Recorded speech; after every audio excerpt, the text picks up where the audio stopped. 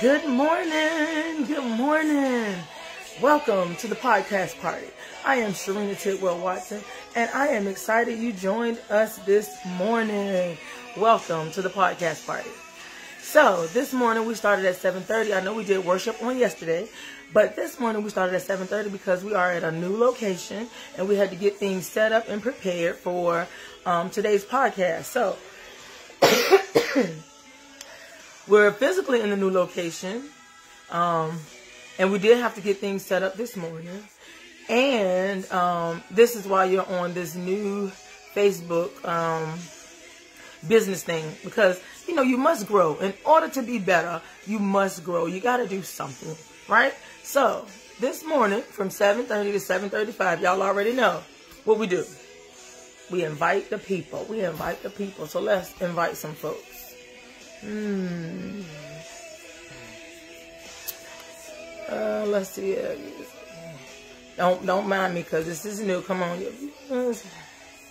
Oh, fabulous. Oh, okay, okay, okay.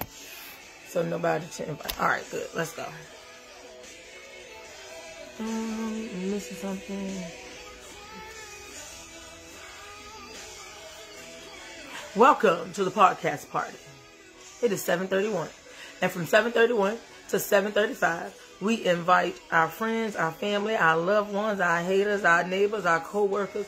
We invite them all. We invite them all. So um, I'm trying to invite some people, but it seems like I can't invite the people. So they got to come on and get in here on their own this time. They got to do something on their own this time. Yes. So they probably at the other page, um, trying to find this page. We're going to find out, right? We're going to find out. So you must go from the old to the new. From the old to the new. And it take a little bit of time. It take a little bit of time. So, Lord God, we thank you that you are here, that you are with us this morning, and that we're going to talk about your word. We're going to talk about your word this morning. So, knowing that you are the big coach, my question is, do we listen to the big coach? Do we follow the orders of the big coach? Come on, somebody somewhere. Come on, somebody somewhere. Good morning. I'm trying to make sure that I did this right. So y'all know, y'all know, we keep it real. We keep it real over here. So again, we are, um, I know we did worship on yesterday. And we're gonna we're gonna get back. We're gonna get it. We're gonna get it. But we had to move to uh like we had to set up this morning.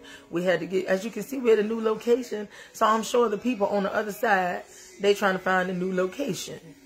So we're gonna give them a, um to 7:35, and we're gonna get started like we normally do.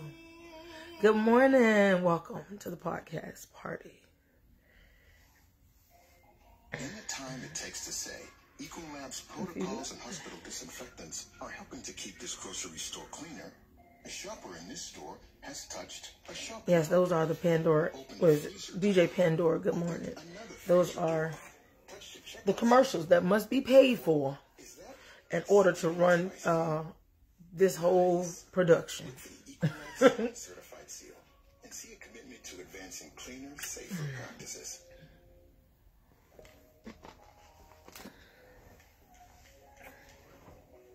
Oh, so let's see, let's see. So here it says request to be in the broadcast. Allow viewers to send you a request to join your broadcast.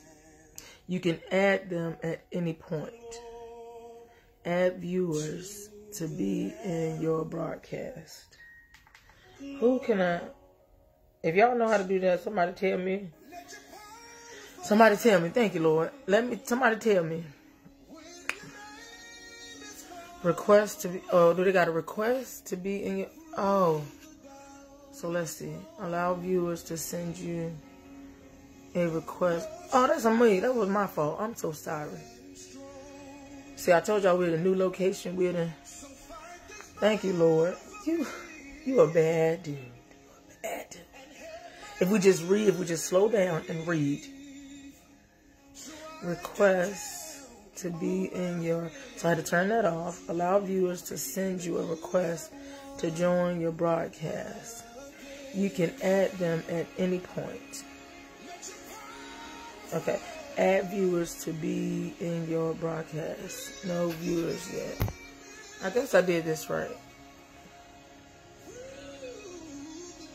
Mm. All right. It is 7.35 and we're going to get the party started. So, fight this battle for me, Lord. We can't do it. Help my unbelief. So I'm up here, I'm like, I don't think I did this right. And I know God told me exactly what to do. I know he did. I know he was with me 100%. But I'm trying, I was trying to figure out, did I mess up? Because I don't see nobody over here. But I remember that I said, it don't matter if anybody in the room, Lord. I'm, you are my only audience. You are my only audience. And I'm to be the best performer. The best performer. So I was starting to get, you know, like, concerned and a little scared. Like, did I mess up? Did I mess up? Did I lose those viewers? Did I lose? So everybody, they come, they would be there. Just remember that I am your only audience, and you will perform for me. Like you said, you're going to perform for just me. Fight this battle. Lord, help me with myself. Get myself out the way. And let you run this show. Let you run this show. Thank you, Lord. Wow. See, I told y'all, I'm learning lessons every day just like you. We all, look, we all in this together. Fight this battle for me because I can't fight it for myself, Lord. Keep me in my right mind and keep my mind stayed on you. Yes, Lord.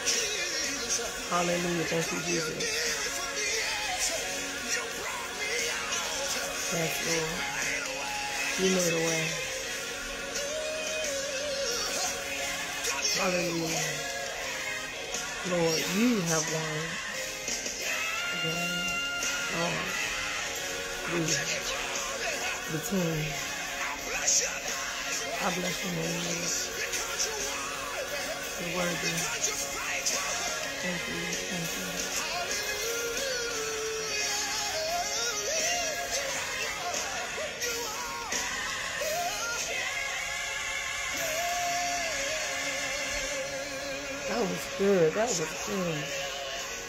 That was good. Who was this?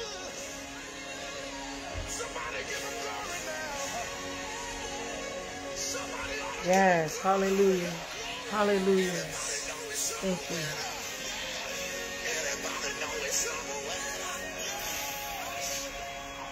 Thank you, Lord. Hallelujah.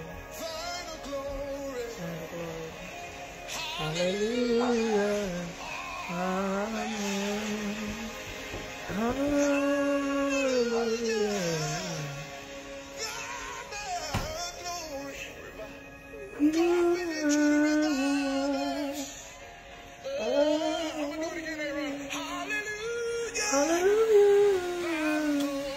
About the glory. Hallelujah. Hallelujah. The winning team. Thank you, coach. Thank you,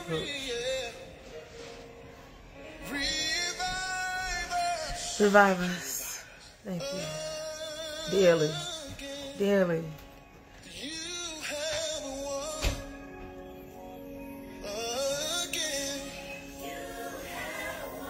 Dearly.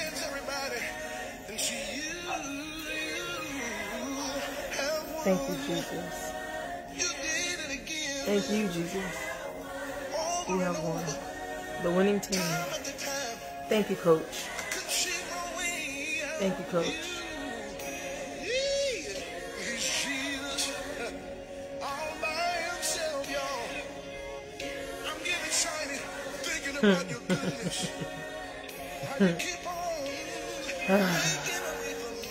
Making a way, Lord. Making a way. Thank you, coach. Thank you, coach. Man, the big coach. The big coach. If you've ever had a coach that was like a good coach, like an awesome coach, you let that, you made that coach aware that, coach, you're a good coach. You did what the coach told you to do. You followed the commands of the coach. You was obedient to the coach. You sacrificed for the coach. You did all those things for that coach so you can be on the winning team. So today my question to us is, who is your coach? Who is your life coach? Who is your life coach? Good morning. Welcome to the podcast party. Who is your life coach? Wow. Thank you, Lord. So, um, what did I do? What did I do? I was a cheerleader when I was about, uh, don't be funny, y'all, because of course I'm not a cheerleader now. But I was a cheerleader when I was about 10, 11, 12. I was a cheerleader. And, you know, I always wanted to know, why can't I get on the top of this pyramid? And the coach had a way of expressing to me that um, we need you as the foundation. The reason we need you as the foundation is because you strong, girl. You are strong. And we know that if you at the bottom of this pyramid, them girls gonna be all right. If you are the foundation of this pyramid, when they put that pyramid together, we're gonna win. We're gonna win. So I said, okay. My natural coach, as my cheerleading coach, she expressed that to me in a way that made me feel like, oh my goodness, I am the foundation of this pyramid. So I got to be, you know, yes, they need somebody strong. So now I'm looking like, oh, y'all can't hold this pyramid up. Uh-huh, they need me to hold this pyramid up. So I felt good about myself. As a kid, I ain't know Jesus. I ain't know God. I ain't know none of that. They forced me to go to church, and every time I went, I tried to go to sleep on purpose. So I didn't know nothing about that. But the words that she had spoke to me sound similar to the words that I heard when I was a teenager. And now that I'm an adult. So as a teenager, what are some stuff? You know, don't talk like that. Don't um don't carry yourself in that manner. You are somebody that walks around with power.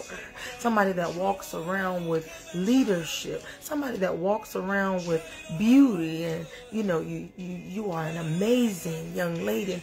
And those are the kind of things that's the foundation at home. Come on somebody the foundation at home that helps you become the young woman that you become. So all along the way, we are getting these bits and pieces and plugs to pull the journey all together. So as a teenager, you are saying to yourself, I am amazing. I am all that and some because my mama says so. Because my daddy told me so. So I know that I am powerful. I know that I'm loved because they tell me. I know that I am um, strong because they say I'm strong. And I do stuff to make it look like I'm strong. I do stuff like, Grandma, I can move this chair. I don't need your help. Grandma, you sit down. I don't move this chair. So Grandma say, you strong, girl. You strong. I said, yes, so I know I'm powerful. I know I'm strong. But I also heard some other stuff when I was growing up that didn't didn't sound like what grandma was saying. And those things kind of, you know, messed me up a little bit, made me eat a little more, made me hide, made me isolate myself, made me feel like I was not enough, made me feel like I was, so, you know, something like you eat too much. You're always in that kitchen. Why you gotta put them on? Why, hey, we need to buy you some elastic waist pants. And when they said that, Grandma said that, but Grandma was saying it to me because that was when she was work, uh, going to uh, Montgomery Ward, and I think they had sales on the you know the waist pants. And Grandma knows she want her baby to be comfortable, but she want her to you know be cute too. So Grandma was trying. But those elastic waist pants, I said when when Grandma stopped buying me these elastic waist pants. I ain't gonna wear another elastic waist pants in my life. Every pair of jeans I'm gonna get gonna have a button on them. So now I put on my, my button jeans. I thank you, Grandma, for my elastic waist pants, but now I put on my button jeans. But those kind of things mess with my self-esteem. Those kind of things made me feel like I wasn't good enough. And I'm like, okay, the coach at the cheerleading practice, she said I was strong. So I had to be on the ground on my knees and my hands to help hold up this foundation. So that was, she was a good coach. Gotcha. Thank you, Lord, for the good coach. Then I get home and I'm kind of like confused. I'm like, I don't know what's going on because, you know, I'm think my mom and my dad at that point, they're like my, I guess my life coaches that God sent me to help me get to another level in life.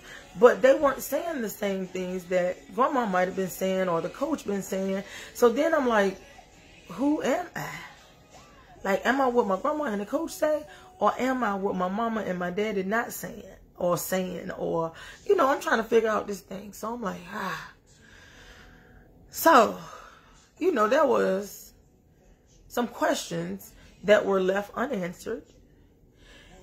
And I'm like, I like the light on this side because this sounds better than the darkness on this side.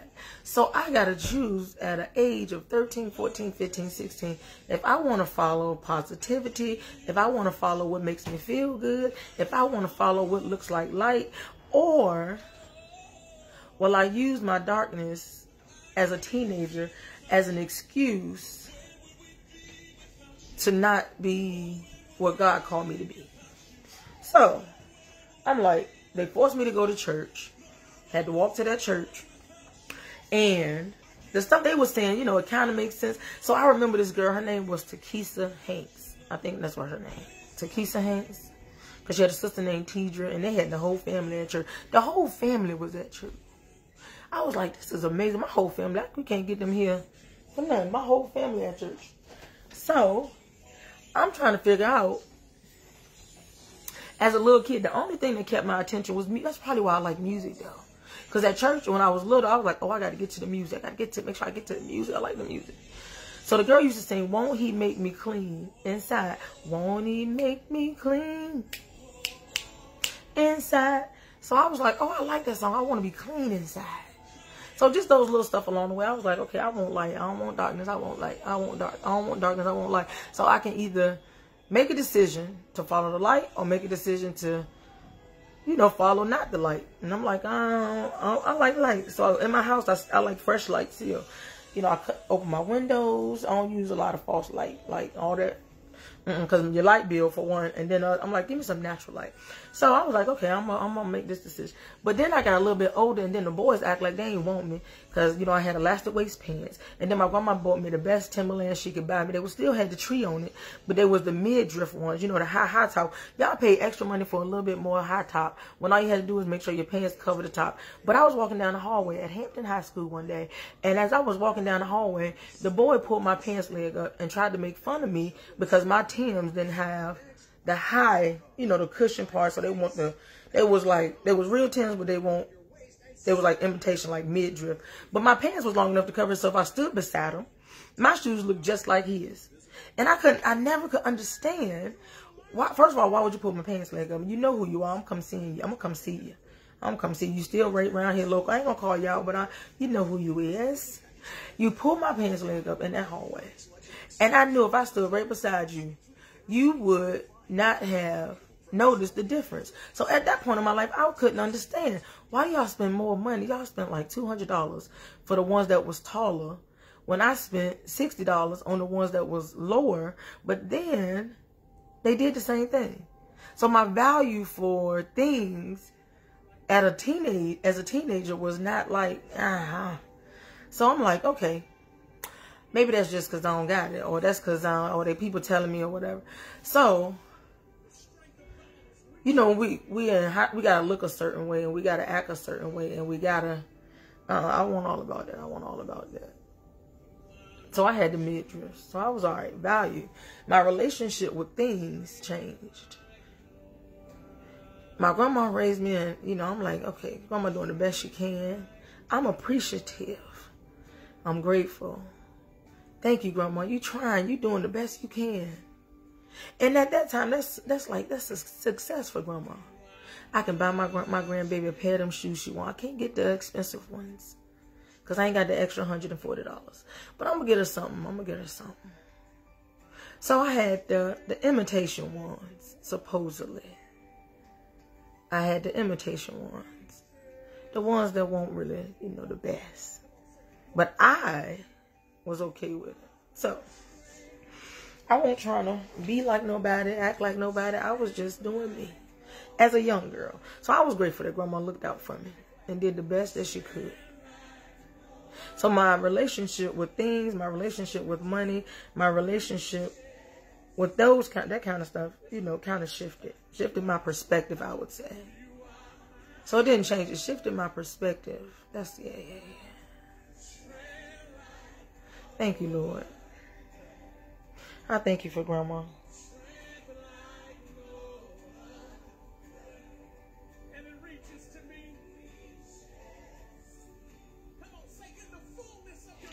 I thank you for Mima.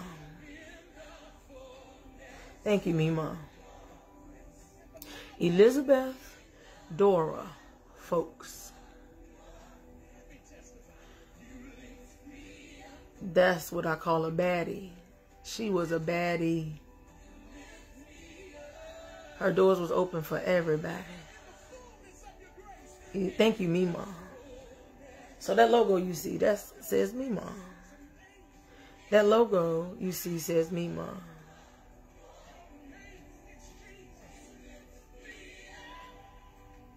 Thank you, Mima. So, when I was a young girl, I also remember this gentleman. His name was Michael LaMelle. And I went to a fashion show. And it was at Six Mount Zion when it was on Kecoughtan Road. And when I tell you he was one of my coaches when I was growing up, he I he didn't I didn't even realize it until a few minutes ago. Like you know, when I was a teenager, that boy made an impact on my life that changed the trajectory of my future. Wow. Yeah, so in, in life we have coaches. So when I was a baby girl, young girl, I had my cheerleading coach. When I became a teenager, my grandmother raised me. My me mom raised me. So she was one of my life coaches. As I became a young girl, the things that I went through when it came to the boys and the, the, the I needed a coach. I needed a coach, and I didn't know God. I didn't know Jesus. I didn't. I knew of Him because Grandma forced me to go to church. But Riverview, they were one of my coaches, and Michael LaMelle at one of the most pivotal times in a young girl's life when you're still looking for answers and they have not been answered by a man. They have not been answered by a man. You still find yourself uneasy, not at peace, trying to figure out what is wrong with me. So when I was growing up, I had a coach, and she was a cheerleading coach. Thank you, cheerleading coach. I think her name was Peaches. I don't remember all. I think her name was Peaches, but we had a lot of them growing up. But all of you, Southampton Bears, Southampton Pirates, um, it's, it's, yeah, y'all got to be careful with these babies as cheerleading coaches because you can say stuff to help them or you can tear them down. So y'all be careful out there when y'all, y'all, that's why God said, let me shut this down in 2020, shut everything down, let everybody revisit themselves, get better with themselves, build a relationship with me. So when they go back out in these streets, they are empowering our children, our teenagers, our women, and our men to be better and be truthful to themselves so that they can impact the lives of the people that they come in contact with. So if you're a cheerleading coach, a football coach, know that you are impacting their lives. So your question, you, you got to answer a question. Are you going to be a good coach or a bad coach? Are you going to be a good life coach? to those children. So I thank you to all my coaches. Now, Mima, thank you, Mima, for being one of the best life coaches for a young girl.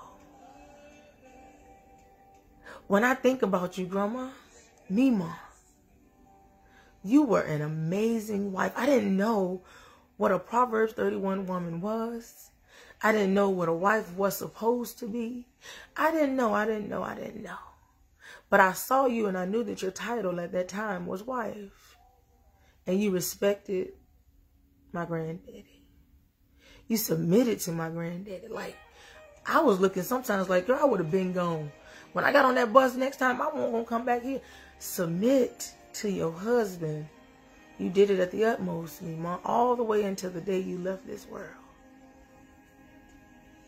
Thank you, Mima. You was a helpmate to your husband. Through the good, through the bad, and the ugly. No matter what, you open that door for him to come in, and you open that door for him to go back out. And you open that door for him to come in, and you open for that door for him to go back. You open the door. He opened the door to go back out. You open the you opened the door for him to come in. He opened the door to go back out. And the door revolved my whole life. His whole life. That door revolved. But you were the epitome of an amazing wife Thank you, God. Thank you, Jesus. I appreciate you, Holy Spirit. So, watching you, Mima, made me realize what a wife is supposed to be and supposed to look like because your life was blessed by it. Your life was blessed anyway, but your life was blessed all the more. And not in not in riches.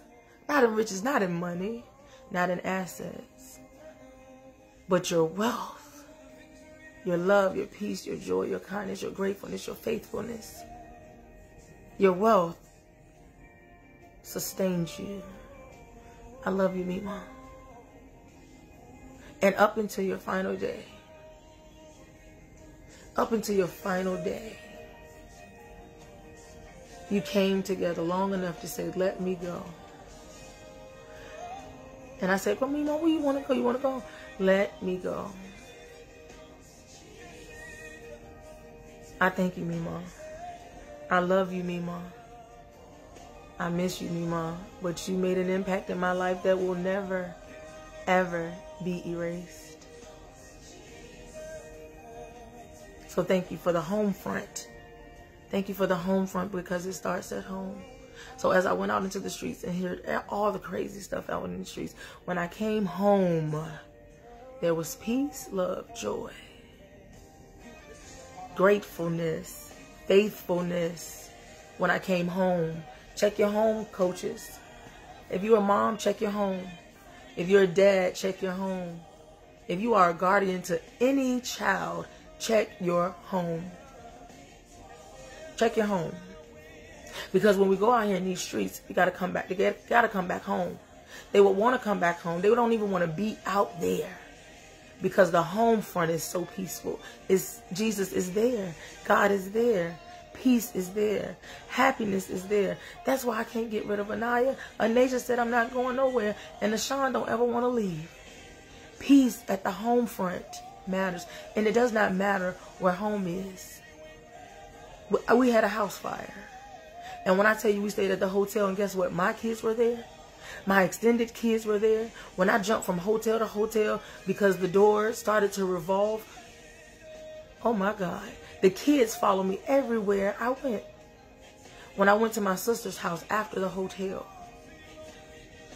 after the hotel, went to my sister's house, stayed there a year and like 14, we stayed 14 months. And when I tell you, my kids were there, her kids were there, my extended children were there, and anybody and everybody else that could fit in that house was there. Light. When you are the light, people want to be in the light. People want to be in the light. So I asked them boys, Donovan, Davon, Nasir, Raya, Tia, Tyasia, who else we have? And anybody else they brought along. I don't want to forget nobody. I think that Tia, I said Tia, I think we got everybody. But anybody, we had C4C, CG, anybody that we opened our doors to was at our house. And I asked those kids, I said, if we lived under a bridge, y'all would come with us under the bridge. Yep, wherever y'all go, we going because we know we're going to eat, we're going to laugh, we're going to have a good time, you're going to make us clean up, we got to do this, we got to get up, we got to do this, we got... Yeah, because there's going to be some structure around here. And they said, Miss Trina, the kids don't like it. The kids don't got to like me, but they love me. And they going to respect me. I ain't looking for no new friends anyway. But I don't care how much I made them clean up, how much I make them move my house from garage to storage to... They were there. And they always want, so they so excited about our new place. And they trying to stay. We ain't got no furniture. We ain't got no nothing yet. They still trying to stay. I sleep on the floor. I said, boy, y'all got to go to school tomorrow. So we had to take them home. But when you are the light, know that your home front is a resting place. It's a resting place to our teenagers, our young adults, the people that are lost. They're looking for a resting place. And you got to ask yourself, am I a good coach at my own home? So, Mima, I thank you for the home front. I appreciate you. So Mima did it. The coach did it. My granddaddy was the revolving door, and he won't doing it. So I ain't get no answers. My dad was, you know, he was doing his own thing. He was young. Him and my mom, they was doing their own thing. And I still did not get the answers. But the first male that I interacted with that was a man and looked different than what I was used to was Michael LaMille. Michael LaMille. I want to let you know, boy, you a bad dude. You are an awesome coach out here in these streets. And whether you know it or not, you have impacted the lives of so many people. And you may say, Lord, you know, I just want to help people. I just want to impact people. I want to help people. I want to help. I want to serve. I want to do what I can. Every time you enter somebody's life, you impact their life.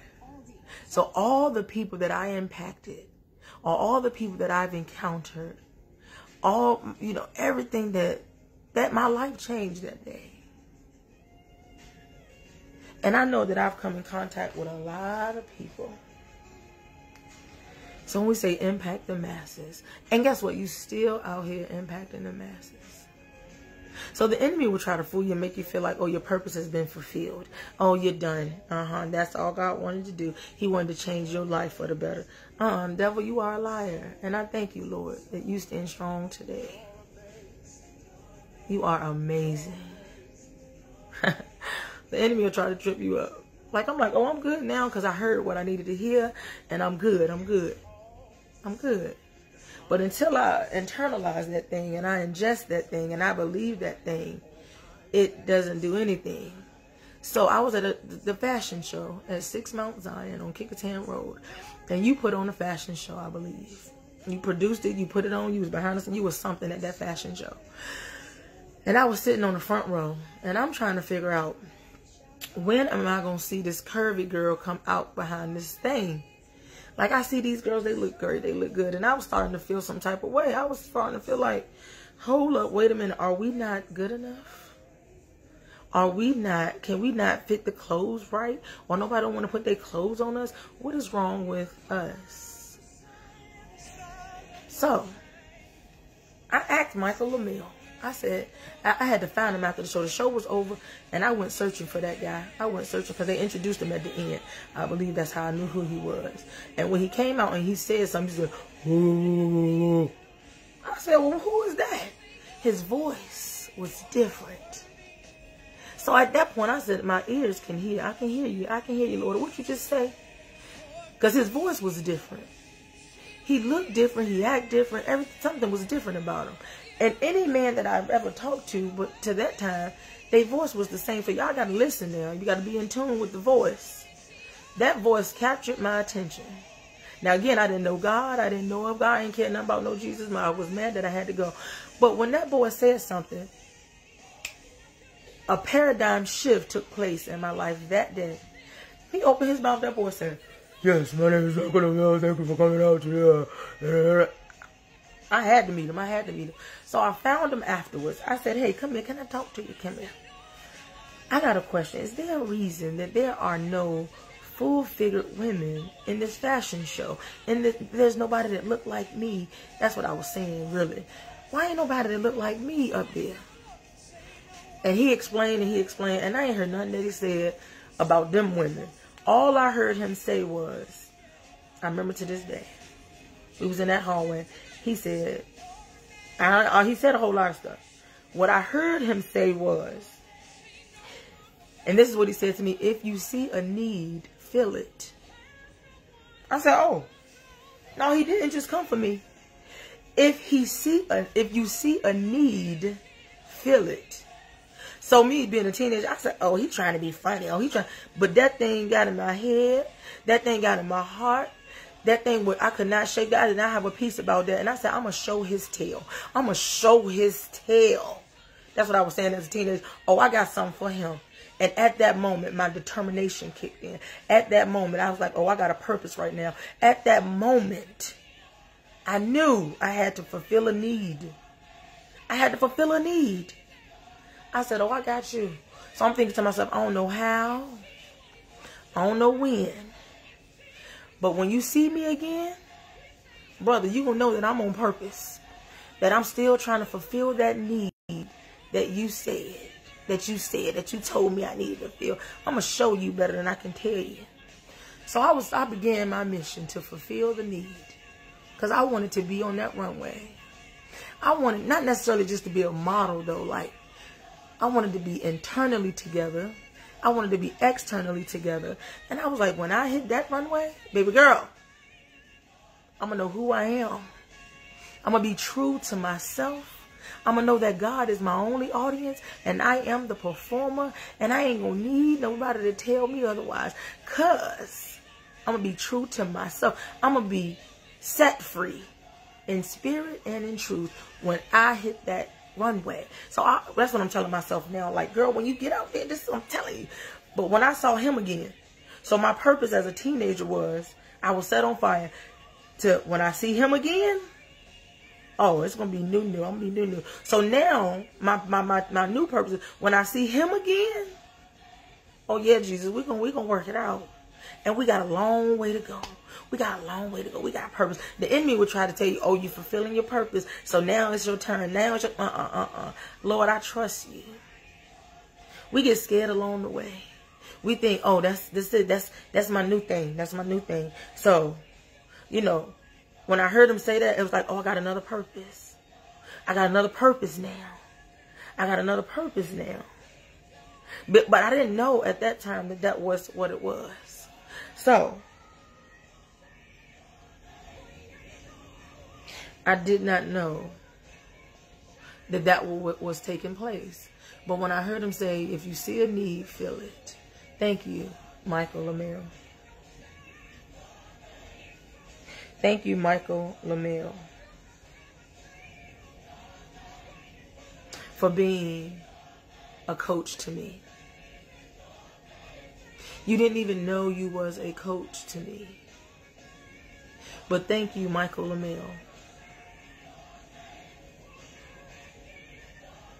Thank you, Lord.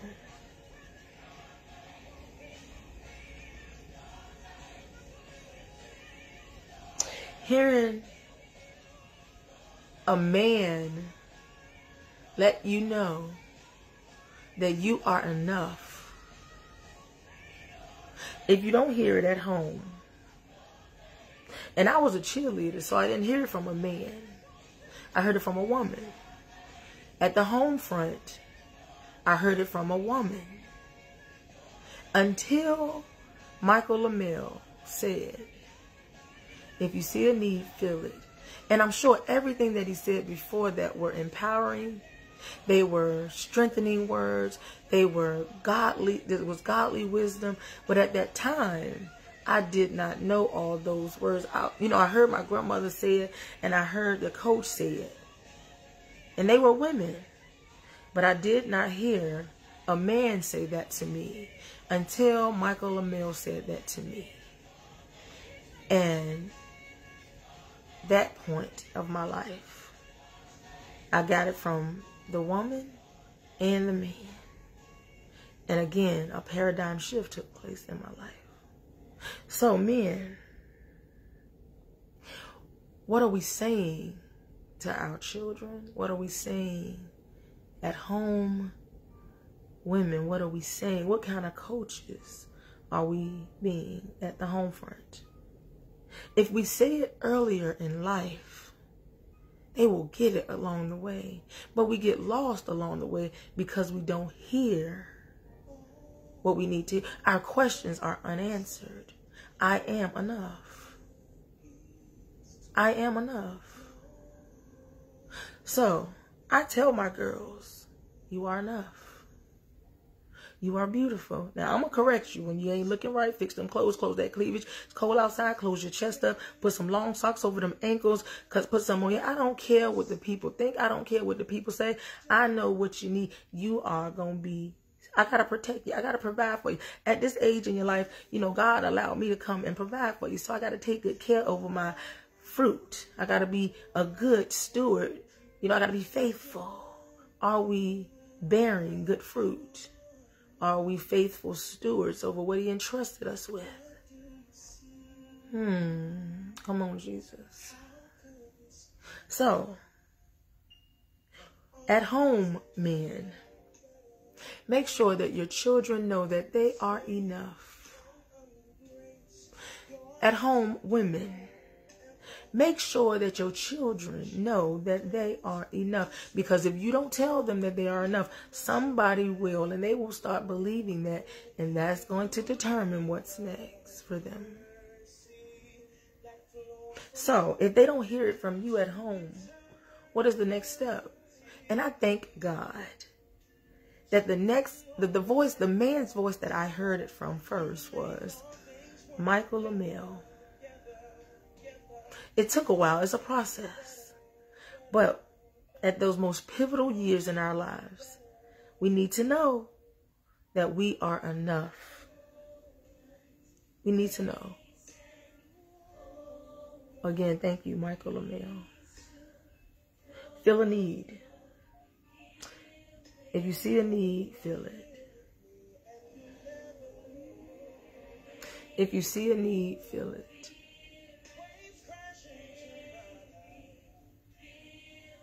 If you see a need, fill it.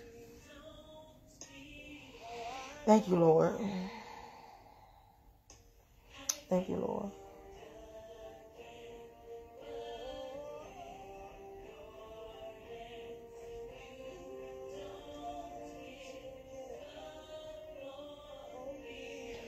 Thank you, Lord, for not giving up on me.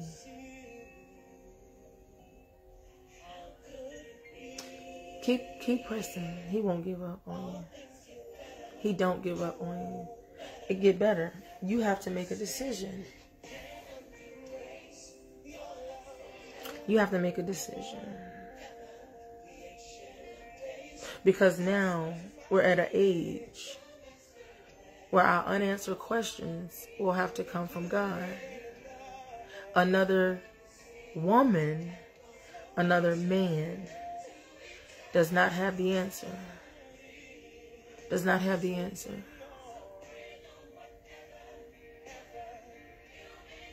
See, when we're growing up, you know, we were developing along the way and we needed to hear from our coaches that God gave us. Now that we are men and women, we have to cleave to Christ. Not, you know, like, all right, cleave to each other, yes.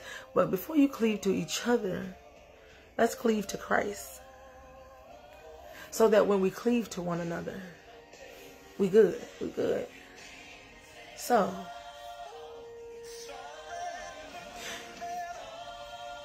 thank you, Lord. Thank you, Lord. Cleave to Christ. I thank you, Lord.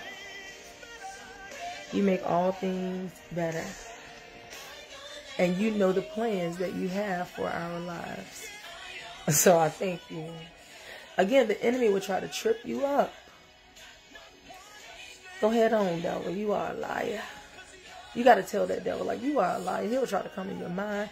And your mind, that's why I said, thank you, Lord. I found out that, God, you anointed our head with oil for a purpose because our minds will connect with things and start believing those things and ingesting those things and absorbing those things. And when it's time to digest and release those things, ah, Lord. So, the devil is a liar. The devil is a liar.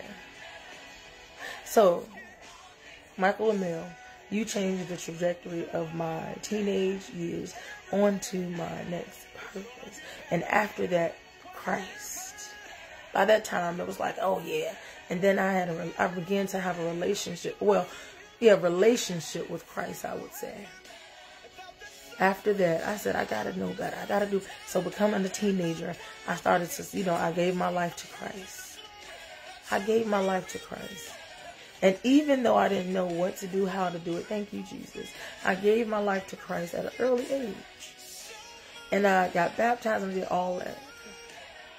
Even though I didn't know all the ins and outs.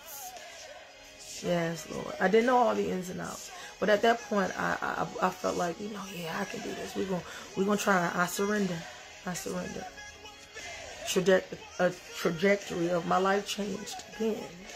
So now, along the way, it's a process. It's a process. And I thank you, Lord that you made sure that me and you knew each other, or I knew of you, or I knew I, I could ex- exhibit love, patience, kindness, the good fruit. Thank you, Lord. Along the process. Dale Tidwell Jr. Yes, Lord. Thank you. Dale Tidwell Jr changed the trajectory of my life. A paradigm shift. Interested in a woman that thought she was not good enough. Interested in a woman that thought she was not good enough. A young lady. And told me, oh, you're pretty, you're beautiful. So you know, now I have the strength from the cheerleading squads. I have the power from my grandmother. I have the the the an- the question answered by Michael Emil, and then DJ comes along and treats me like a queen. Treats me like a queen. And I tell people, thank you, Lord. I tell people I said, you know what? If he wouldn't have passed away, I was almost a domestic engineer to the point where I could go to work if I wanted to because he so provided and he so did what he needed to do. And I, I loved being a hairstylist that I didn't like, I didn't want to have to go to work. And then I didn't want to have to go to the salon. So I always had multiple streams of income. So I'm like, thank you, Lord. Make room, make room. He was so good to me. I was almost a domestic engineer.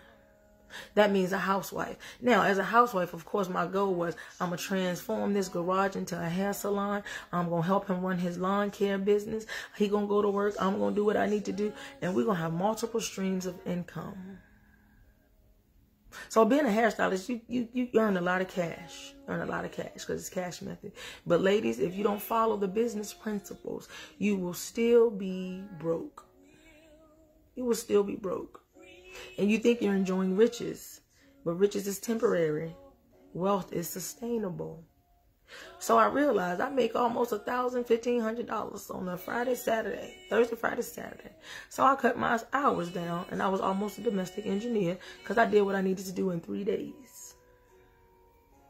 But by Monday, somehow, the money was almost gone. So when it was time to make a deposit, it was inconsistent. And being that I had cash method, I had to make sure that it was consistent. So this is just a plug for the business professionals. Make sure that you make a deposit every Monday for the same amount and be consistently persistent. So when they ask for your paperwork and your paper trail, you are ready to roll. Make sure that you do what you're supposed to do when it comes to your taxes or your business will be stagnant for years. If you really believe God is your source, so stop waiting on a refund. A refund is temporary. Do what you're supposed to do and let God, let God allow God to prosper you in your business. Sow from your business. That may be another reason that is stagnant. Sow from your business. You pay you he commanded the tithe. He commanded the tithe. If you got a job, you earned that. If you own a business, you earned that. Come on, somebody somewhere. If your business is stagnant and not going where you want it to go, then you might want to check yourself and find out what your relationship is with money and who your source is because your business may be stagnant for that very reason. God made it clear to me if I blessed you in all these ways, how come you only tithe one way? I said, from this point forward, wherever my income comes in from, you will get yours off top. Thank you, Jesus. So, I don't care. I say, I don't care if I got a penny in the bank. I am wealthy. I owe no man nothing but to love him. And if I ain't got all the way there yet, I am on my, I'm striving because I'm, I'm doing my best. But with DJ, I was almost a domestic engineer that was just a business plug for the people. So let's get back to the story. DJ was another voice that did it for me. The transformation journey. DJ was another voice that did it for me. For he knows the plans that he has for my life. And there is purpose for us. There are seasons, there are lessons. And on this journey, this long life, healthy vessel, impacting lives along the way, the enemy will get in.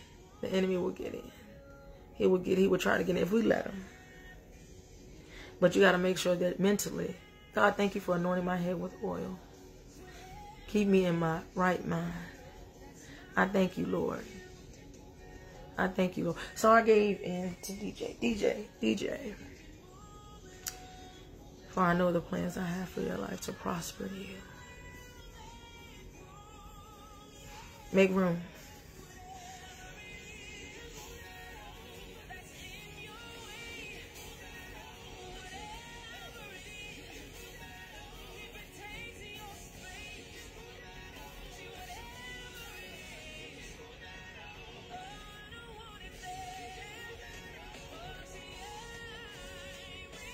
Make room. Make room. We don't make room for God. So when we get a significant other or we get somebody, we don't make room for God. We pray and we pray, Lord, I want a husband. Lord, I want somebody. I want to date somebody. I want to date somebody. But I remember Pastor Nate, and I'll never forget, he said, take yourself on a dinner date with the king. We want to date somebody. We want to be in a relationship with somebody. See, these are all processes along the way. And people are helping us along the way. And they're giving you little pointers along the way. So, as a young girl, my, my coach, my cheerleading coach, thank you for the coach, Lord. As a young girl, my grandmother, thank you for the coach, Lord as a young adult growing up into womanhood. Thank you, Coach LaMel. As a young lady, a young lady on this process, thank you, DJ. As a woman, widowed, professional, single, mother, like who do I turn to? Because after my husband passed away, I'm like, really, Lord? We were only together two years. He was one of the best things that ever happened to me. He changed my life.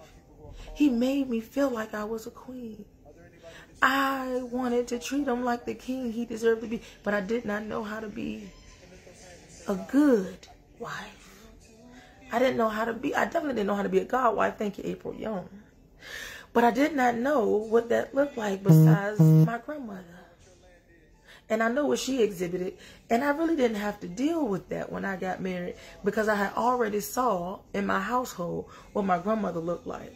So I said, okay, this is what I'm going to do in my when I get married. And God blessed me with a great husband because I knew because of Michael LaMelle that I was enough and I did not have to settle for less. And I am enough and I am determined. And this man, Michael LaMelle, told me in so many words that I am enough. And you know why you enough? Because if you see a need, feel it. And if you can tell me that you already knew that I had everything that I needed on the inside of me to go fulfill the need. And that let me know that I am enough. So, when I started dating, I knew that I was enough. I knew that I was all that and some. I knew that I was determined. I knew that I was pushing for a purpose.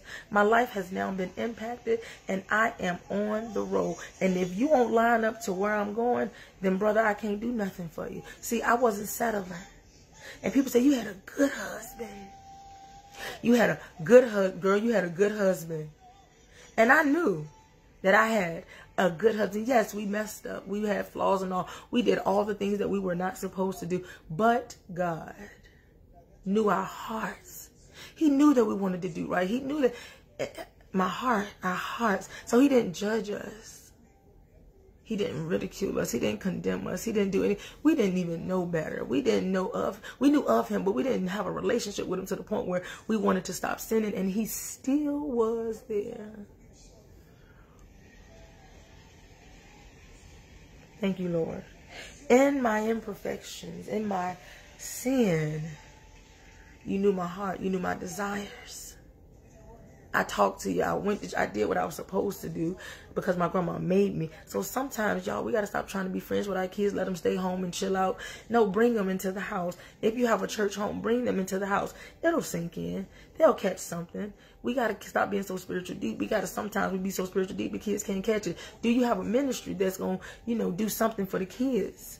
Somebody needs to be speaking in their lives along the way. And I thank God for the people that impacted my life. So Michael LaMelle told me I was enough in so many words. When he said, if you see a need, fill it. I heard him say, you are enough. And you have everything in you to go fulfill the need. So fill it. That's what I heard him say. Right? So when I started dating, I already knew I was enough. So if you ain't line up, I ain't got time for you. And that DJ, that boy was bad. And I was like, he on the, and I always said, I want to date somebody on the football. When I was in high school, I want to date somebody on the football team so I can wear their coat to the football game. Um, when they scream, I could be screaming out a number and I can have my t-shirt and the number on my face. But I didn't think I was good enough until Michael LaMelle said it. And I realized I am enough. So my that shift, oh my God. Oh my God. Thank you, Lord.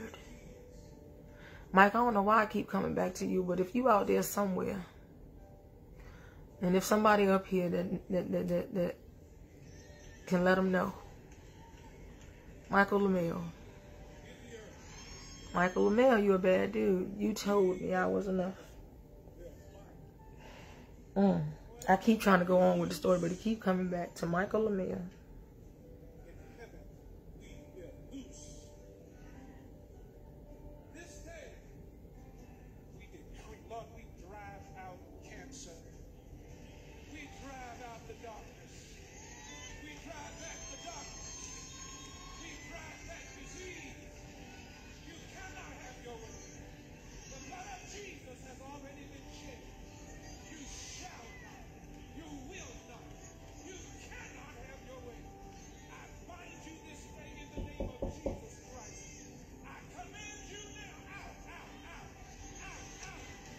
Thank you, Jesus.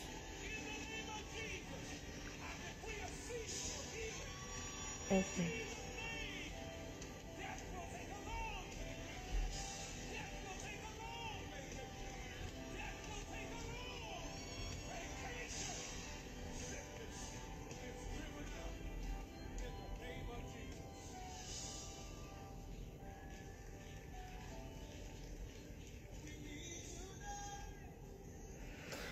We need you now. Thank you, Lord.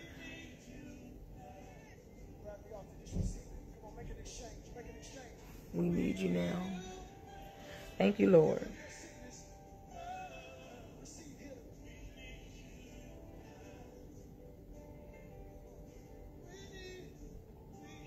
And you know, I have never been sick. I have never been, you know, thank you, Jesus. But like sick in my body, I would say. I've never been sick in my body. But my mind, growing up, when Michael LaMelle said, You are enough, that did something to my mind. So in my mind, I knew that everything I needed was already on the inside of me. And I am enough.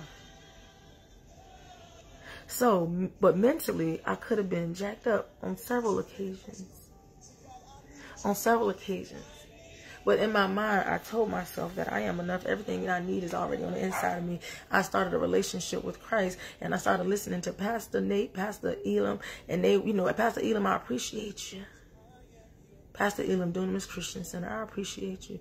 Another voice. See what I'm saying? When the the women speak, the women speak. It is awesome. It builds us up. It makes us feel good about it. It makes us feel good. It makes us feel good. But when a man speaks, it changes the trajectory of our lives. It causes a paradigm shift in our lives. So where are the coaches? Where are the men coaches? So, you know, God, I mean, well, the world shut down. I know it wasn't nobody but God. We know it won't God. But for the people who spiritual deep or the people who ain't deep and don't know at all, 2020 shut down. And for all the football coaches all around the world, all the basketball coaches all around the world, all the rappers all around the world, all the celebrities all around the world, we had to sit home. And God gave us an opportunity to change the trajectory in our homes. So ask yourself, was I a good coach in my house in 2020? Have I been a good coach? Men, y'all couldn't sit in front of that TV and watch no game. Were you being a good coach in your home? Yeah, yeah, they need you now. Were you being a good coach in your home? In 2020 when you had an opportunity to just sit still because God had our full attention. And that was your opportunity to connect all the more with the main coach, the big coach. Did you connect with the big coach, men? Did you connect with the big coach? The entire 2020 or at all in 2020? Because you, when you speak, to our men, our young boys, our girls, our young ladies, our babies.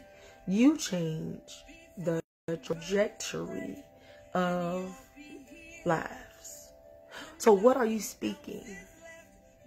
So think about it. The boys out here in the gangs, who are they listening to? They're not listening to their mamas, and those are the ones who birthed them. Right? Who are they listening to? They're listening to the ringleader. That's a man's voice. If the father was in the home and his voice, of course, would overpower his wife's or the mother's voice. But he must be saying the right things. Michael Amel, you are an amazing father. Amazing father. That's why I keep going back to Michael Amel because God has some old stuff he want me to tell him. Somebody tell him he better get on this podcast because today is a shout out to Michael Amel. It we just gonna, I think we're gonna sit right there for a minute because I don't want to be disobedient. But there are some other things along this process that help. But that shift right there, we're gonna talk about that shift. Father, Michael Lamel. Boy, when I saw father, because I had never seen a father act the way you act when it came to your children. Again, my grandfather you know, he would come and go. He would come and go. My dad was doing his own thing, and you know, I love my daddy today. I love my daddy. I love my daddy then, but I understand now better. But I didn't hear or see what that looked like until I met Michael LaMille. I had my other grandfather, and he was amazing. He made me, he, he did, he did the same thing like my grandmother and did because he was, he was kind of nice. He was soft. He was passionate. He was compassionate. He was the, the, the one in church and he did those things and he was there. But I didn't, he didn't really, he, he really act on, if he didn't get his bread, I heard him say a cuss word. If, if I ain't get a plate of food, I heard him say a cuss word. I said, granddaddy, you ain't supposed to be cussing. Cause you know, you think they old, they, mm-hmm. but he was very, he loved me. He showed me love. Yes, love. Yes, Jesus. He showed me love. I love you. Lord, baby Lord. Lord Watson Sr. Can't forget my granddaddy. This is about the men or something today. Something is going on. The coach, the coach. Who is the coach? Who is the coach in your life? Who is that male coach in your life that you're going to listen to? It's going to help change your whole life. Thank you for being God. Thank you for being God. Mm. My grandfather showed me love. Unconditional love. When I say unconditional as a child, I mean unconditional because I don't care how many times I missed that bus in that whole week. My grandfather gonna get up out his sleep, drive that blue truck around my grandma's house, park on the wrong side of the street, pick me up, and take me to school. I know he ain't let that truck warm up because when I get in there, the leather is still cold, the car is still cold, and my granddaddy be shaking. So he didn't even let the car warm up. That's how fast he wanted to get to his granddaughter. I love you, granddaddy. I love you, Granddaddy. Mm, mm, mm. I love you, Granddaddy. He always wanted to be with me. And I always wanted to be with him. Wow. Love. It kept me. It kept me along the process. Determination. Thank you, Granddaddy. Lord Watson Sr. Thank you. So yeah, men. Men. Wow. Michael Emil, father. Father. Good father. I seen him kiss his son on the cheek, like on the forehead, the cheek. Kiss his son. Like, who kisses their son? Are you kidding me right now? Like, I have never, ever, ever, ever in my life seen that until I seen you kiss your son. And you look at them babies in their face and you tell them, I love you. You look at them babies and you tell them, I love you. And I'm like, wow. Wow, this is amazing. This is amazing. And it did something like it light them up. You can see the kids light up.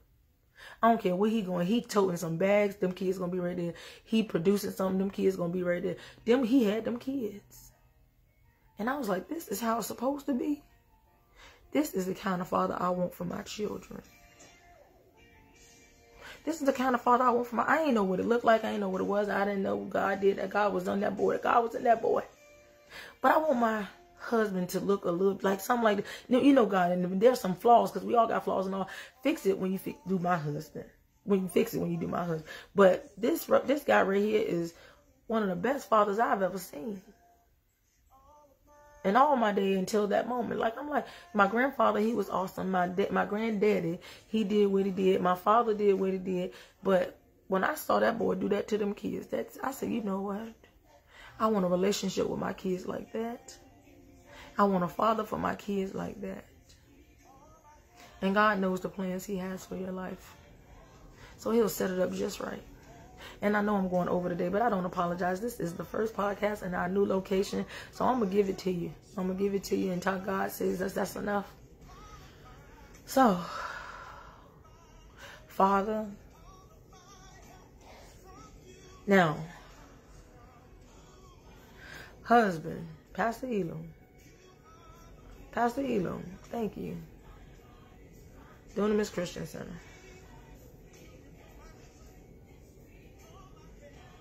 He loved that woman. Michael, I want to come back to you though. Father, you told me a story. And I don't know, I think your baby name, I know your son named Michael and your daughter named Micah. And the other one is, mm, I can't even think of it right now. I know you, girl, because you're beautiful. You're dark skin. You is beautiful. You, you is, oh, y'all is beautiful chocolate babies. And I met your mama, and she just as pretty as herself. I said, this is where they get it from. And then your brother, he, he, mm, his char charisma. That boy is a, a mess. But all y'all are some gentlemen. Y'all are definitely some gentlemen. But you told me a story about you and your kids, and you don't force them to go to bed because sometimes they think better at nighttime. And I realize now that I get up in late in the midnight hour, and me and Jesus be having a good old time. And now that I real, when I say that to myself, I said that's probably why because they focus more at night because Jesus is moving around. He is doing this thing while we all in here thinking we sleep and stuff. He is on the move. And you said you don't force them kids to go to bed, but they do know you are not waking them up in the morning. You are not going to be their alarm clock. And they better bring home them good grades. Go to sleep when you want to go to sleep. Do your homework when you're going to do your homework. I'm not going to micromanage you. And you're going to be the best that you can be. However, just know in my house, I'm not waking you up. I'm not setting no alarm clock. And you better bring them good grades in here. And you can ask anybody to this day, Michael Lamel, I tell them that about my kids. To this day. I don't make, I don't force them to go to bed. I don't force them to wake up. I ain't getting out my bed to go wake you up. If you stayed up late you got a cell phone, you got a alarm clock, get up. And you better bring honor roll in my house. Ask anybody to this day. I still says it. I still say it. I still say it. And I don't even force them to bed. When I go to bed, they go to bed. Because as for me and my house, you know, we will serve the Lord. We will serve the Lord, but we will serve the Lord. Sorry, excuse me. Yes, let me get my thoughts and my words together. We will serve the Lord. And then, you know, a parable, I'm going to add my, as for me and my house, so my kids can understand, you will do what I say because I'm going to be saying what the Lord's saying. And you may not understand his voice right now, but he going to tell me to tell you what to say. So as for me and my house, you will do what I'm telling you to do because I'm telling you what the Lord said right? Now I ain't gonna tell you what the devil say. I ain't gonna tell you what the enemy say. That's why I don't speak down and I don't try to. I try to be my best and I try to do my best for my kids because I ain't gonna tell you what the enemy said because you already heard that out there in the streets and on social media. So I need to tell you in the house what the Lord said so that we can have peace, love, joy, happiness, and faithfulness and integrity and loyalty and commitment and love and all that in our house. So I'm gonna tell you what the Lord said. As for me and my house, we will serve the Lord. And that in translation means you're gonna do what I tell you to do because I am listening to the Lord and we going to follow Christ. So you ask yourself, who is your coach? You got a good coach or a bad coach? Somebody somewhere. But I remember you told me that about them babies. And I use that to this day. So I thank you again, Michael LaMel, Father. Father, Michael LaMel. Man, man. When I say man, man, you better not pick up a bag in front of him. He gonna have 60 bags and you better not have one. And if it's too many, he come back out here and get them. I don't care if he got a. I remember he did my production, Heart to Heart. We did, we did that production. When I got back with him, I told him too. I said, "You remember what you told me?" He said, "What I tell you? What I tell you? Like, what, tell me what happened." And I told him, step by Sixth Mount Zion, Kecoughtan Road. Now it's called a six house. You told me, and I told him the story all over again.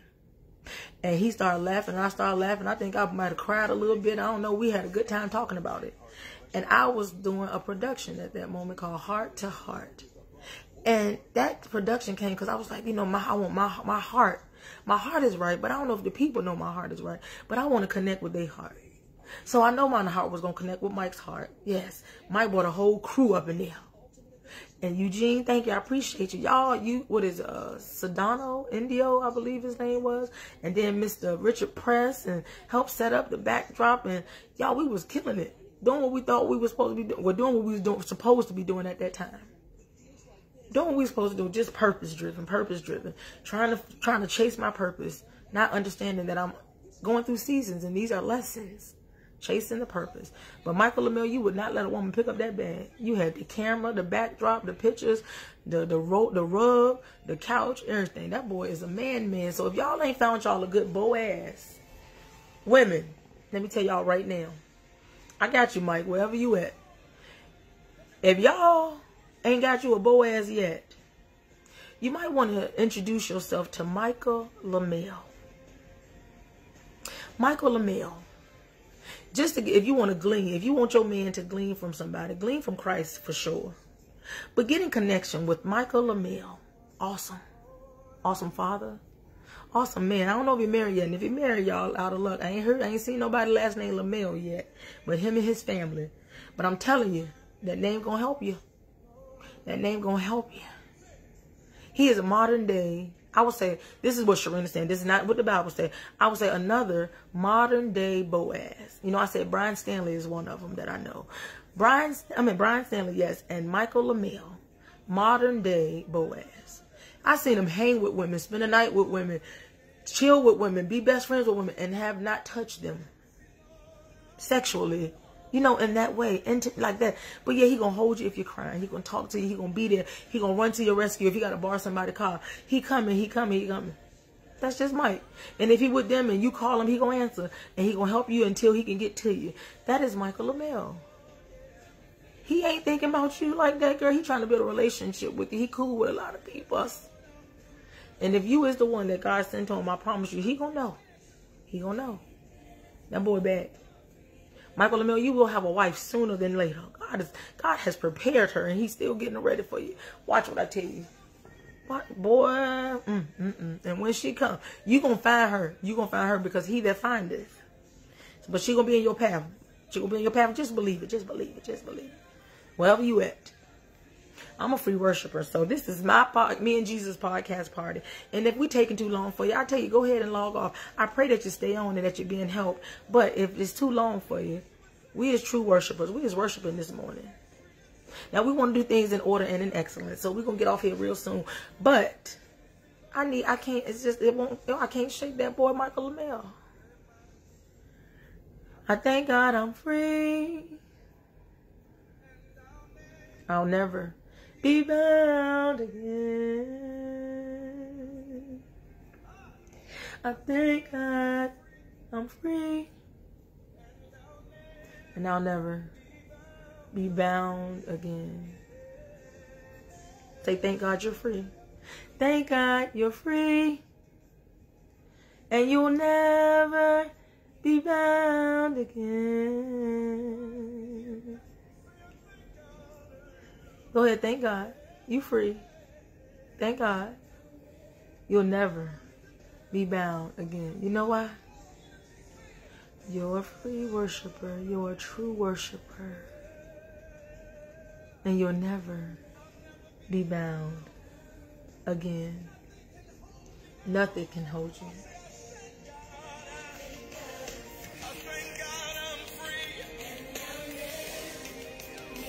Trust him. Trust him. I'm a free worshiper. You are a free worshiper. You are a true worshiper. Don't think that what you have been doing is in vain. You have impacted lives all over the world. You're a free worshiper. You're a free worshiper. We love you. Thank you.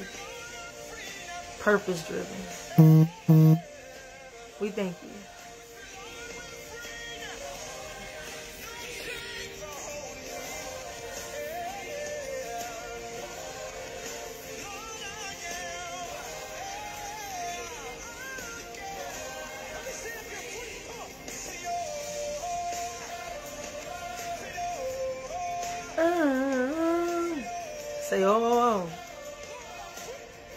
You gotta say it.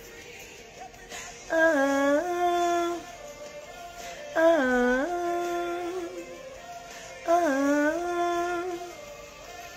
Lord, I'm free. Hey, if you're a free worshiper, say, Lord, I'm free. Come on.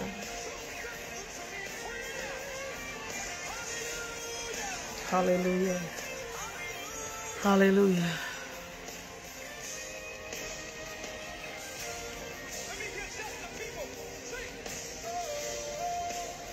I can't hear you.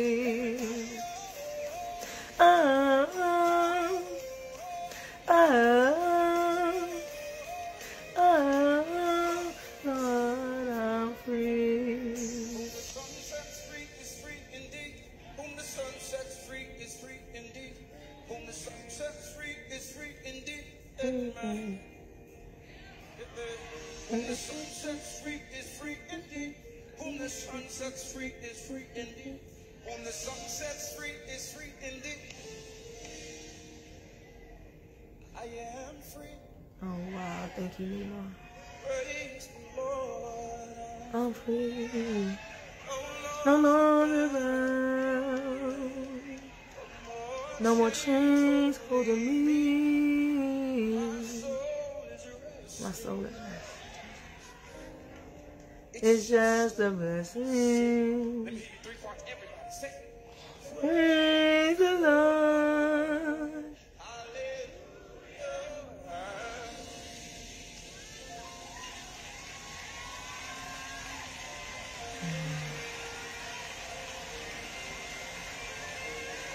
Die to yourself daily. Die to yourself daily. Look at death different. It's not about death. Like, I think when people hear death and hear die and all that, it's like, oh, I'm so afraid. I'm so afraid. I don't want. No, I don't want to leave this world. And God knows that. Long life, long life, healthy vessel. But when we say you are free, die to yourself daily and live for Christ. So I got to get out my own way. Like, God, you are my audience. And I am the only you are my only audience, and I am your performer. There, all of us are should be performing for Christ. But in order to perform for Christ, in order for Him to be your audience, you have to die to yourself daily. So when you say, "I am free," my soul is resting in you. I died to Rennie from Cheryl Road daily. I used to be Rennie from Cheryl Road, and when I feel Rennie from Cheryl Road trying to rise up, I'm like, uh, uh, uh, that ain't like Christ. Cherina Tidwell Watson has been renewed. A better heart, a good heart, a matter. Listen, my heart is, ooh. And me and God got that relationship like, God, you know my heart. So people and things and so society and social media cannot judge me. Because my only audience is God and I am the best performer ever. You have to ask yourself, am I going to be the best performer ever if God is my only audience? Will I be a good coach? Will I be a good coach in my household? Will I be a good coach to my children? Will I be a good coach on my job? Because God is your only audience, so He is the big coach. And the big coach needs you to be the best coach here that you can be. Give it your best. Operate in excellence. Be successful where you are. Your success is different than somebody else's. Don't try to compare yourself to anybody else. God created you. God created you, and you are a performer, and He is your only audience. He did. He did it for me. He did it for you. God did it. He did it. It's already It's already.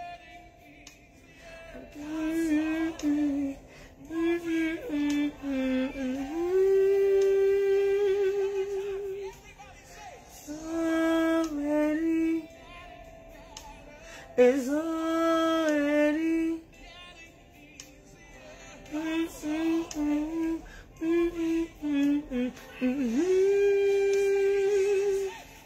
He did it for me. Sing it. He did it for me. He did it for you. Thank you, Lord. God did it. He did it for me. For me.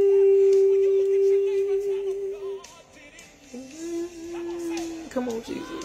Come on, Jesus. We did it. Thank you, Jesus, for using us as healthy vessels. Use us as coaches. He did it for me. He'll do it for you. He did it for you. He did it for you. Will you do it for you? Will you do it for you? Men, we need you. Women, we need you too. Those men, though, the voices of the men. The voice of the man. The voice of the man plays a major part when you're trying to be on the winning team. And if you're not speaking at all, that's not good. If you're speaking and you're tearing down, That's not good. So if you're going to be a coach, make sure that you're a good coach and that you're creating a good team so that we all can win. Don't belittle the ladies. Don't look down on the ladies. Respect the ladies. Love the ladies. Let them know that we are queens. Let them know that we are queens. So, ladies, what I encourage you to do is think back over your life and think about the people that have impacted your life. And then fine tune the men that have impacted your life. And ask yourself, I am I a product of what the men said about me? Am I a product of what the men said about me? So, yeah, this is for women and for men. Our goal is to impact the people. I love my women though, so I be getting on y'all because I want y'all to, I know what we supposed to have and I know what we supposed to get and what we deserve. I know a little something, just a little. I don't know it all because Jesus still working on me. Jesus still helping me. But women, you know I love you. But you got to be truthful with yourself, baby. You got to be truthful with yourself. You got to be truthful with yourself and ask yourself, am I a product of what I was told by the men in my life?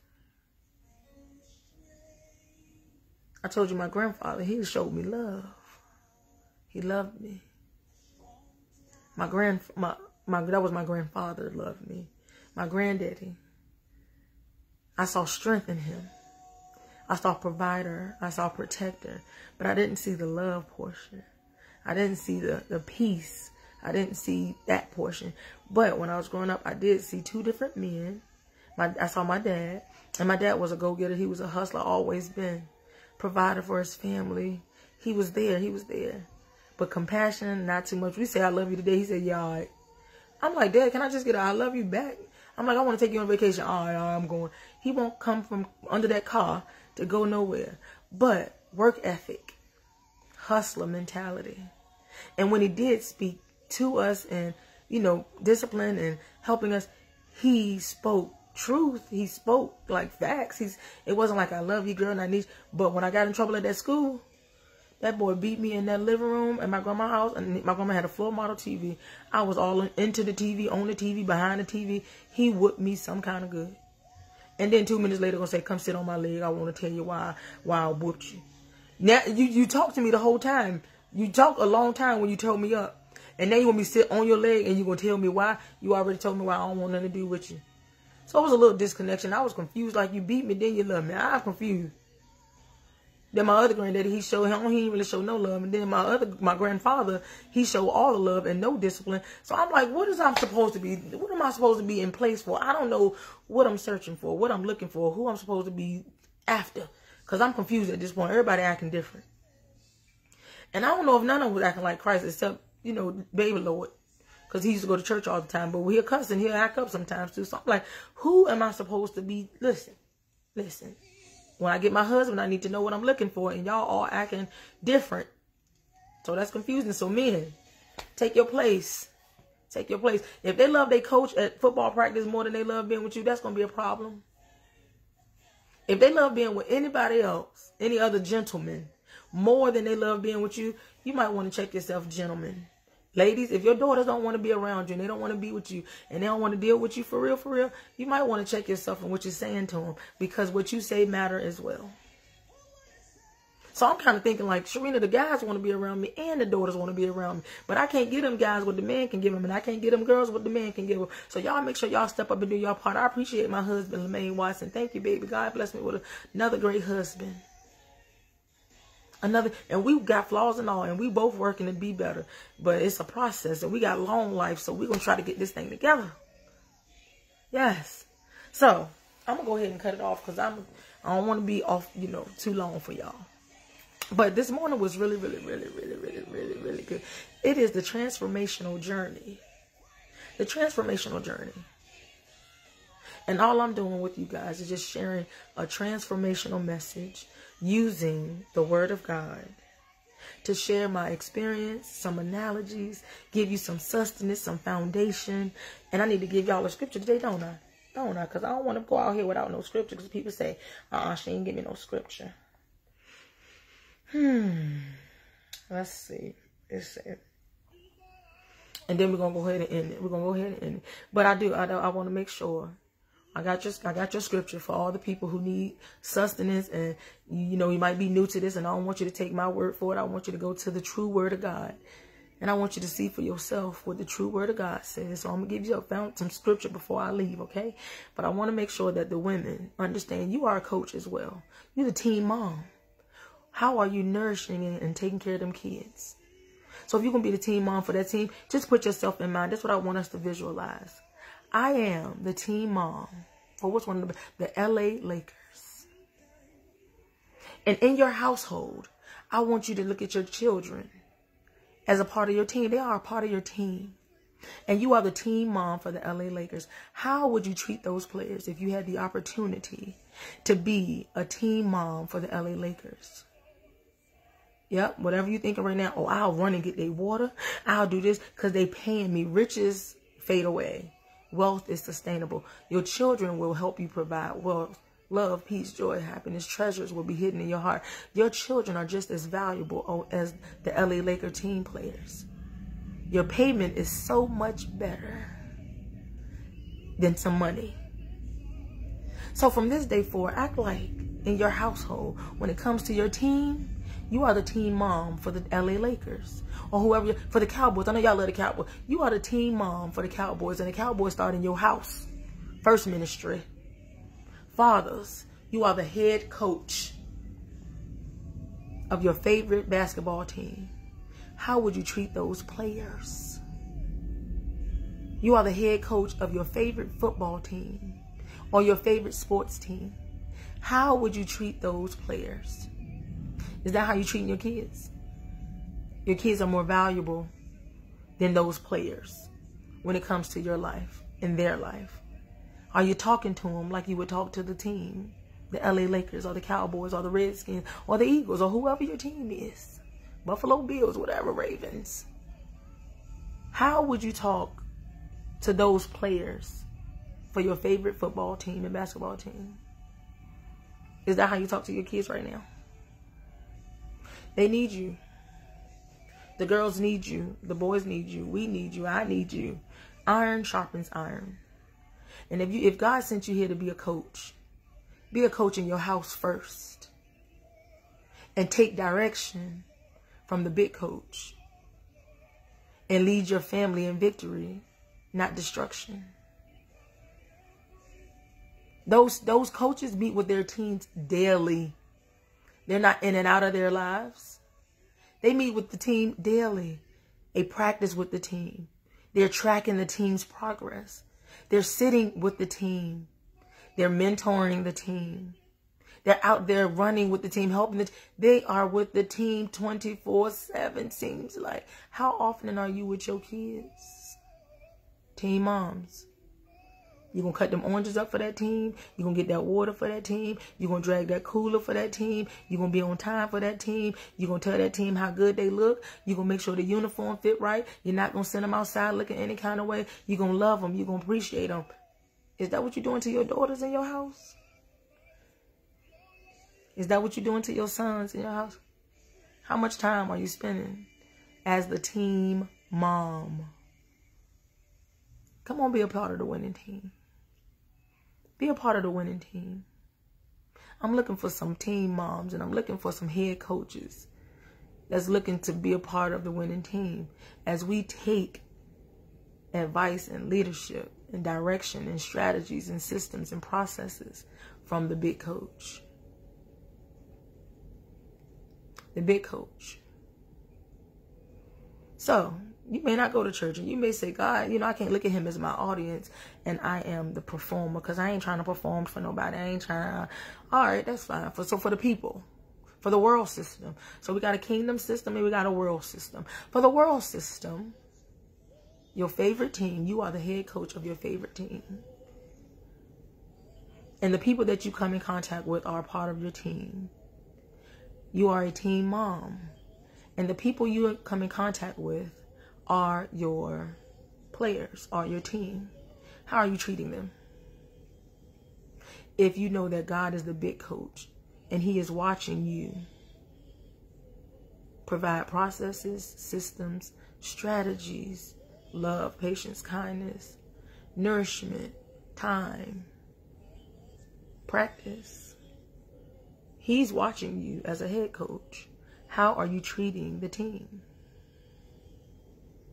So, team moms and head coaches, mothers, fathers, women, men. How are you acting in your house? How are you acting at work? How are you acting when you're out and about, knowing that the big coach is watching you? And you were here, your purpose to be a team mom or a head coach. How you gonna perform? How you gonna perform? Hmm. Second Peter 1, 5 and 7.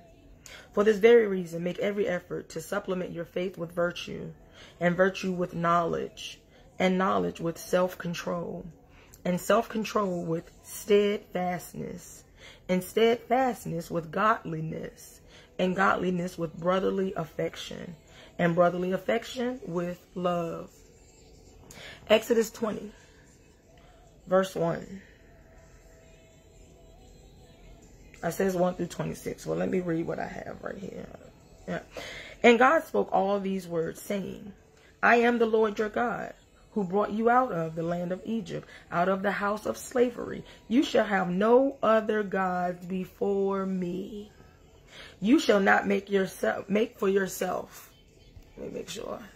You shall not make for yourself a carved image or any likeness of anything that is in heaven above, or that is in the earth beneath, or that is in the water under the earth. You shall not bow down to them or serve them. For I, the Lord your God, am a jealous God, visiting the iniquity of the fathers on the children to the third and the fourth generation of those who hate me. So, are our children, our grandchildren, our great grandchildren, and the third and fourth generations affected based on our actions? Visiting the iniquity of the fathers on the children to the third and the fourth generation of those who hate me. You shall not bow down to them or serve them. For I, the Lord your God, am a jealous God, visiting the iniquity of the fathers on the children to the third and fourth generation of those who hate me visiting the iniquity of the fathers. It don't say mothers. Fathers. The head coach? Wow. Come on, somebody somewhere.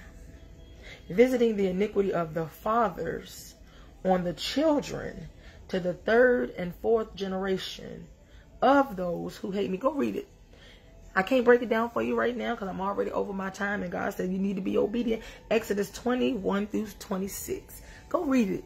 It's talking about the third and fourth generation. It's our kids. It's our kids like they are today because of, come on somebody somewhere. Come on head coaches, somebody somewhere.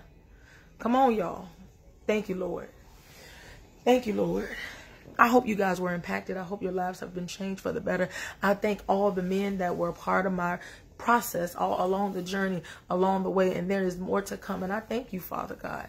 I thank you for the women who are in our lives, Lord God, that help us along the way. We love you. We appreciate you, Father, for being the big coach and being the only audience that we bow down to. We love you. We appreciate you. And we are going to be the best performers ever. In Jesus' name, thank you, God. Thank you, Jesus. Thank you, Holy Spirit. We appreciate you, Holy Spirit. Amen. Surrender. Say, I surrender. I surrender. I surrender. I surrender. Give it to him. Give it to him. Surrender. I want to be a big coach. Say, I want to be, now I want to be a big coach. Say, I want to be a head coach. I want to be a head coach. I want to be a team mom. I surrender. Amen. Have an amazing day. Thank you, God, for being with us. Thank you for joining us again. We love you. We appreciate you. For us in Jesus' name, amen. Thank you, guys, for joining the podcast party. I hope that this helped you. See you again tomorrow morning at the new location, which is right here, Cherina Tidwell Dash Watson. God bless you. Have a great day.